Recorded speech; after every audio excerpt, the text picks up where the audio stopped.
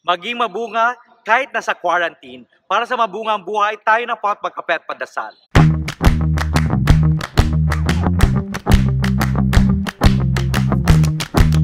Alam nyo ba na sinulat ni Marco Polo ang kwento ng kanyang paglalakbay sa China noong siya'y nasa kulungan sa Genova o kaya ang inspirasyon ni Dante Alighieri sa kanyang Divine Comedy at ni Miguel de Cervantes sa kanyang Don Quixote ay ang kanilang karanasan sa kulungan kahit ang talambuhay ni Napoleon Bonaparte at ang House of the Dead ni Fyodor Dostoevsky ay pawang na isulat habang nasa piitan, prison literature ang tawag sa mga obra maestra na ito sa panitikan.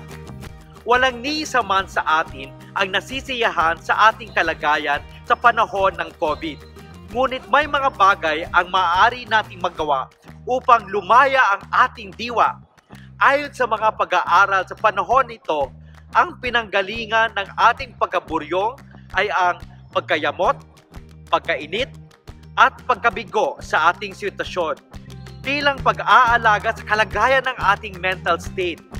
Makakatulong ang balikan ang isang dating libangan tulad ng pagsasayaw, gardening, pag-aayos ng kwarto at sala, pag-video call sa mga mahal sa buhay.